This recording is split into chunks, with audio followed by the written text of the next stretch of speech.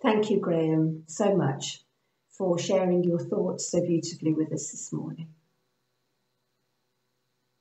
I'm sure a lot of you, in fact, probably most of you, have at some point fallen in love.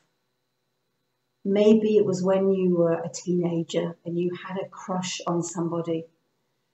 But I'm sure that you just talked about him or her constantly to every, whoever would listen to you.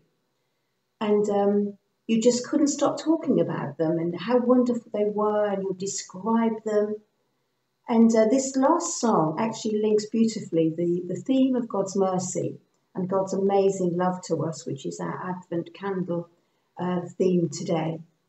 And it mixes them so beautifully. And uh, the, the writer and the composer of this last song talks about the magnificent, marvelous, matchless love of God. And there are lots of words that describe God's love. But this song is just full of God's amazing love and compassion and mercy towards us. Um, it may be new to some of you, but it's it's um, very easy to pick up. So so do feel free to just sing along and join in to this song. Magnificent, marvelous, matchless love.